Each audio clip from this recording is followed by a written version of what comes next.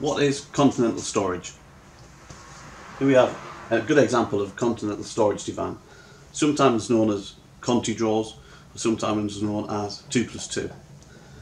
You get two large drawers at the bottom of the bed, one either side, but at the top of the bed you get two smaller drawers, again one either side, but as you can see you still have access to the drawer when the bedside table is there.